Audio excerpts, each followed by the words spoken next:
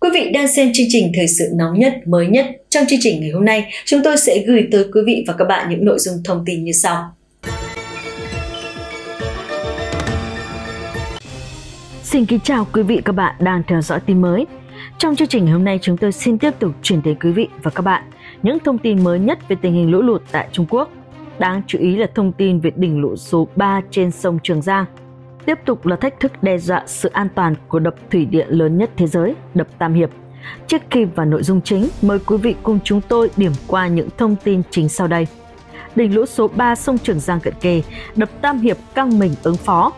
Kinh hoàng đoạn mô phỏng vỡ đập Tam Hiệp, NASA tiết lộ ảnh vệ tinh hiếm chụp khoảnh khắc đập Tam Hiệp xả lũ.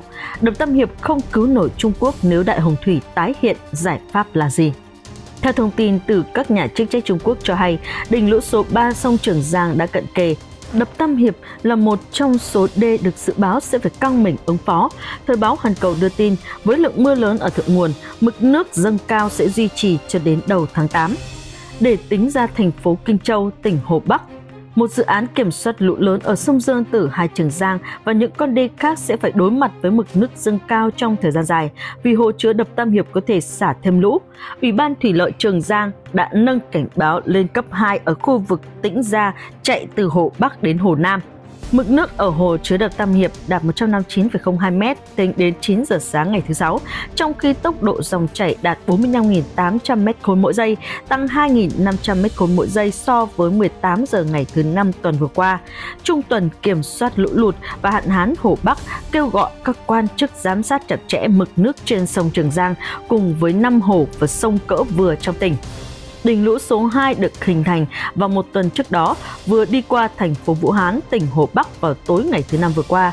Các chuyên gia giải thích rằng do đỉnh lũ của hồ chứa đập Tam Hiệp đã giảm nên việc xả nước ở hạ lưu diễn ra thuận lợi hơn, do đó không đạt cực đại ở Vũ Hán.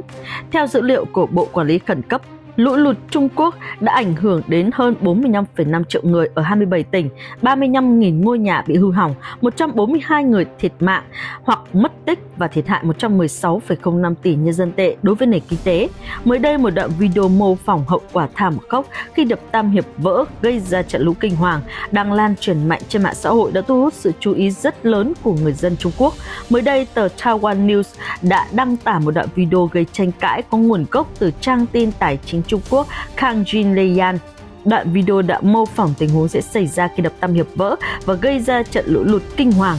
Các thông số như tốc độ chảy của nước, chiều cao nước lũ và các địa điểm chịu thiệt hại cũng được ghi lại trong đoạn mô phỏng. Các tác giả của video nhấn mạnh rằng đây chỉ là mô phỏng dựa trên các ước tính và không phản ánh tình hình ngoài đời thật. Đập Tam Hiệp trong video cao 181 m so với mực nước biển, dài 2,3 km, Mực nước trong hồ chứa cao 175 m với khả năng chứa 39,3 tỷ mét khối nước. Ở đoạn đầu mô phỏng, đập Tam Hiệp được giả định là sẽ vỡ dưới áp lực nước khổng lồ. Ngay sau đó, một bức tường cao 100 m được giải phóng với sức mạnh kinh hoàng. Vì hai bên sông Dương Tử đều bị chắn bởi núi cao, nước lũ không thể cháy lan ra các vùng khác. Vào thời điểm này, lũ sẽ có tốc độ hơn 100 km/h. Đập Tam Hiệp chỉ cách thành phố Nghi Sương ở hạ lưu chỉ tầm 50 km Do đó, chỉ khoảng 30 phút sau khi vỡ, đập cắt Châu Bá cũng sẽ bị nước lũ hút vỡ và thành phố Nghi Sương sẽ không còn tồn tại. Mô phỏng cho thấy nước lũ cao 20 m sẽ đổ bộ Nghi Sương với tốc độ 70 km h và nhấn chìm thành phố này dưới 10 mét. Nước sau khi tràn qua Nghi Sương, lũ sẽ tiếp tục đi xuôi dòng Dương Tử, nhấn chìm các thị trấn xung quanh với tốc độ ít nhất là 60 km/h. Độ cao của lũ giảm dần xuống còn 15 đến 20 m. Sau khi tấn công thành phố Nghi Đô, lũ thoát khỏi vùng thung lũng và tiến tới đồng bằng. Nước bắt đầu tràn ra xung quanh theo hình cánh quạt, ảnh hưởng tới hàng loạt khu vực xung quanh. Khi nước lũ tràn tới đồng bằng, độ cao giảm xuống khoảng 8 m và tốc độ là 25 km/h.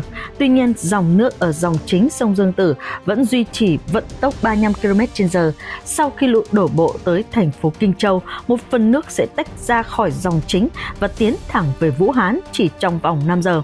Sau khi đập Tam Hiệp vỡ, nước lũ tới thành phố Nhạc Dương, cách đập 350 km về phía hạ lưu, mô phỏng dự đoán Nhạc Dương sẽ chìm trong 5 mét nước.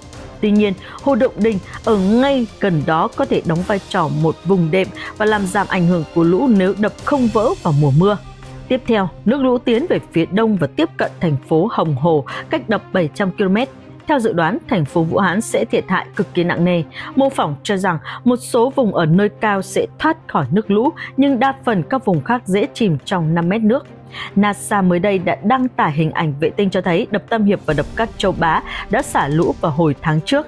Từ khi đợt gió mùa ở châu Á bắt đầu ngày đầu tháng, mưa lớn đã đổ bộ Trung Quốc đẩy mực nước ở các hồ, sông lên ngưỡng kỷ lục.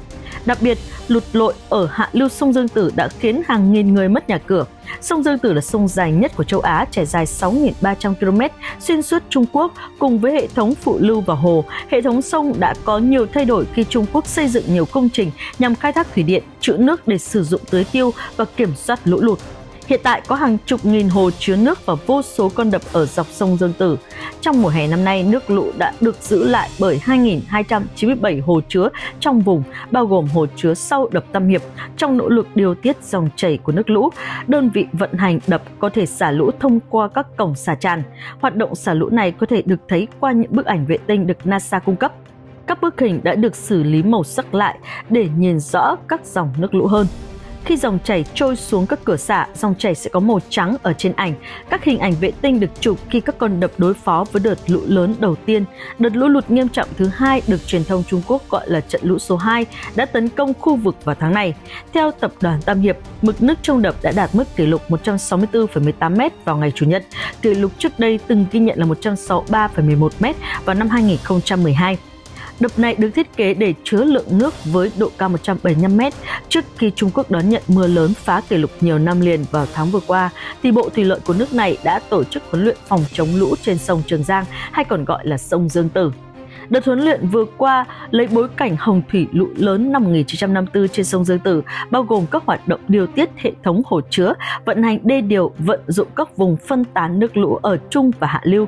Mục đích của chương trình là phát huy đầy đủ vai trò điều tiết của nhóm hồ chứa ở thượng nguồn sông với đập Tam Hiệp làm trọng tâm phối hợp với các công trình liên quan nhằm giảm thiểu tổn thất do nạn lụt. Hệ thống phòng chống lũ trên sông Trường Giang đã liên tục được gia cố kể từ sau Đại Hồng Thủy mang tính lịch sử vào năm 1998.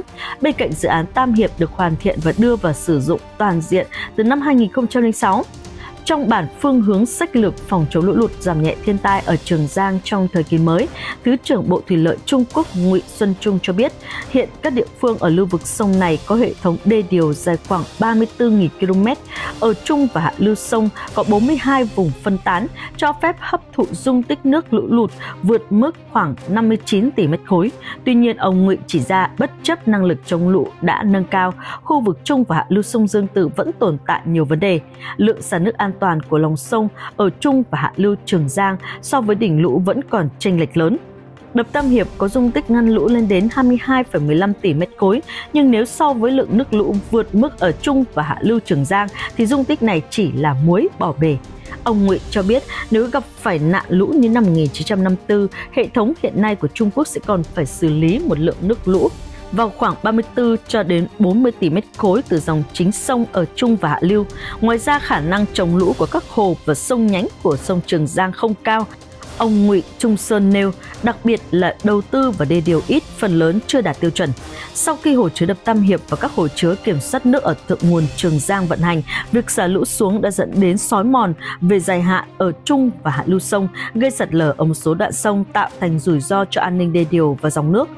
Tổng công trình sư thuộc Ủy ban Thủy lợi Trường Giang, Bộ Thủy lợi Trung Quốc ông Trọng Trí Dư nêu ra vấn đề chủ yếu tồn tại trong công tác ngăn lũ ở Trường Giang hiện nay, gồm thiếu hụt quy hoạch mới dẫn dắt, xây dựng và quản lý tốt các vùng phân tán lũ. Tình trạng sạt lở bờ sông ở dòng chính Trường Giang gia tăng là về vấn đề đảm bảo an toàn cho người dân và ở các khu bờ sông. Ông Trọng Sĩ Dư phát biểu khi tham dự lưỡng hội kỳ họp Quốc hội và chính hiệp toàn quốc Trung Quốc rằng cùng với việc Tam Hiệp và loạt các hồ chứa để kiểm soát nước ở thượng nguồn Trường Giang lần lượt hình thành, tình hình chống lũ ở hạ nguồn sông có thay đổi sâu sắc.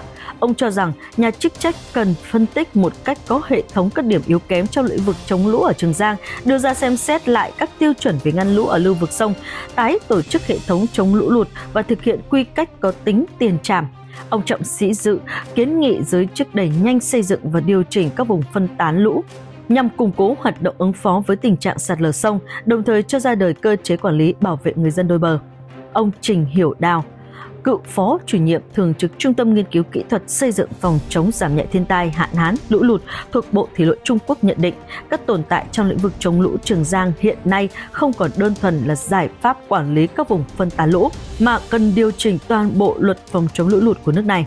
Đạo luật được ban hành từ thập niên 1990 nhằm thích nghi với những điều kiện mới Thông tin vừa rồi cũng đã khép lại video của tin mới. Mến chúc quý vị sức khỏe, bình an. Xin đừng quên nhấn nút đăng ký, subscribe và nhấp vào chiếc chuông bên cạnh để không bỏ lỡ bất kỳ video nào từ tin mới.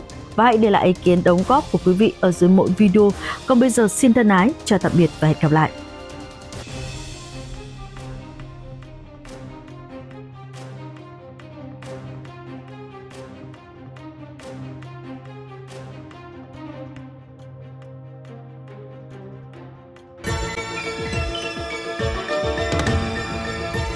Những thông tin vừa rồi cũng đã khép lại bản tin của chúng tôi ngày hôm nay. Cảm ơn quý vị và các bạn đã quan tâm theo dõi. Xin kính chào và hẹn gặp lại.